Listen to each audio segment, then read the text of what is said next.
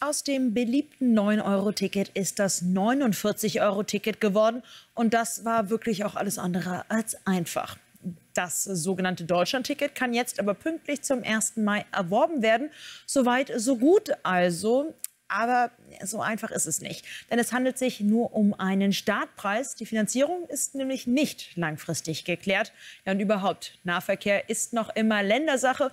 Und wir alle haben ja wirklich gelernt, dass jedes Bundesland da seine ganz eigenen Vorstellungen hat. Es läuft also mal wieder auf einen Flickenteppich hinaus. Berlin Hauptbahnhof. Hier steigen Tag für Tag tausende Pendler ein und aus.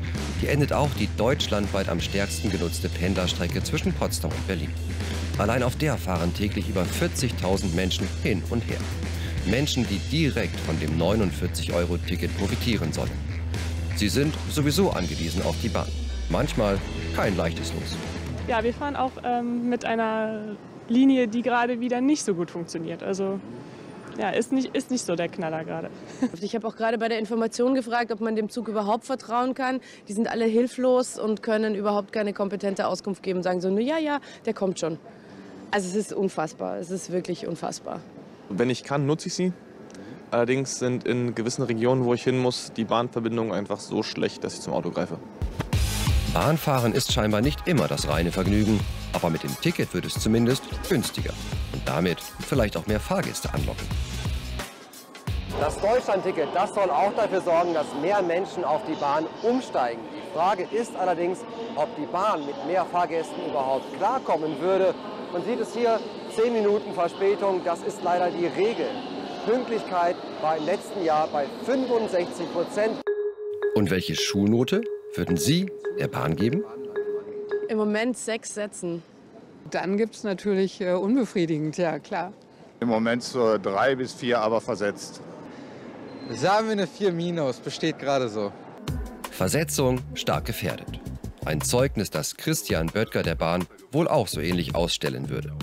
50 Milliarden Euro müsste man in die Sanierung der Bahn stecken.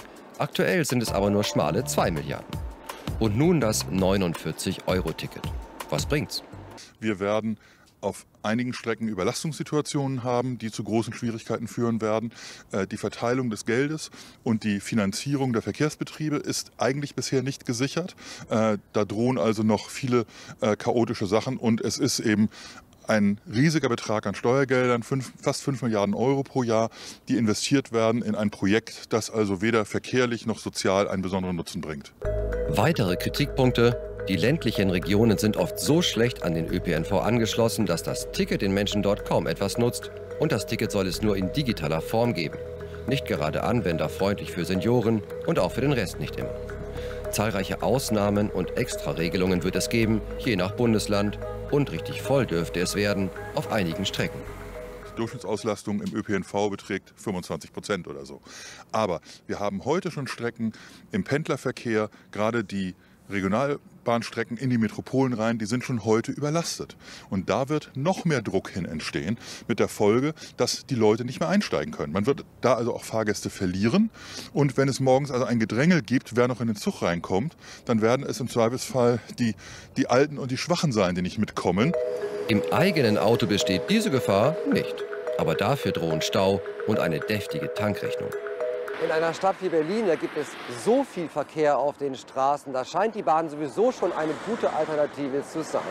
71 Stunden steht jeder Berliner Autofahrer durchschnittlich pro Jahr im Stau. Und genau da haben wir nachgefragt. Würden Sie vielleicht umsteigen?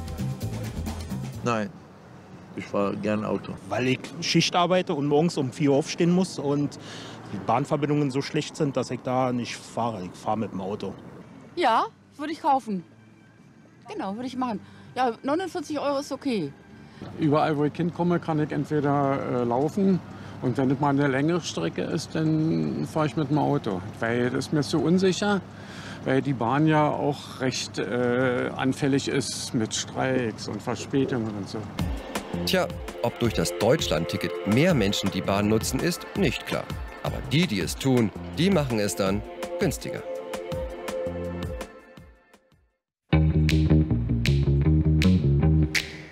Unser Fernsehsender Welt versorgt Sie rund um die Uhr mit den aktuellen Nachrichten und Hintergrundberichten. Hier beleuchten wir die wichtigsten Themen des Tages und ordnen das Geschehen für Sie ein. Wie Sie uns im TV finden können? Ganz einfach.